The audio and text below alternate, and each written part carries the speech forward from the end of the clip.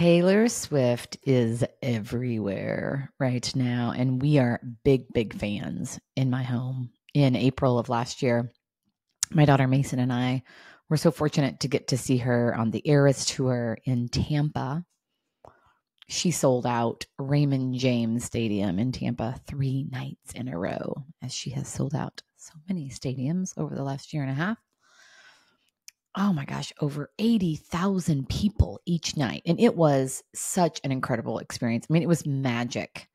Three hours, 44 songs, 80,000 people singing along with her. I mean, the connection that I felt was incredible. So I was really moved recently when I, you know, had experienced that. And then I saw this photo of her from 2007, 16 years ago, playing at this small little outdoor venue for just a few thousand people. And it was such a reminder to me of not giving up on your dreams. Whether you're a fan of Taylor Swift or not, there is no denying the valuable lessons that we can all learn from her entrepreneurial spirit and her drive. She is a leader, she is a force. And her success is no accident. And it is an ex- excellent example for anyone looking to build a brand or shape a career. She has an unrelenting work ethic and has built an empire that spans far beyond the realm of music. And all of this success did not come overnight.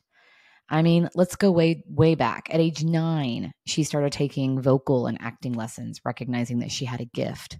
Around age 12, a computer repairman taught her how to play guitar and helped her with her first song.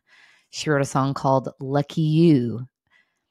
She worked so hard for so many years, pl- playing it and performing at local venues, sending demos to record labels before she was discovered. And even after her initial success, she continued to take risks and strive for excellence. You know, leaving her former record label to start her own. I could go on and on and on about her achievements. I have come to just so admire her. And I love her music, but I so admire her as a woman, as a leader.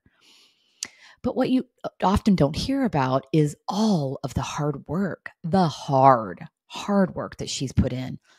So it's a reminder for all leaders to be persistent. What is it that you want? Don't give up in the face of challenges or setbacks.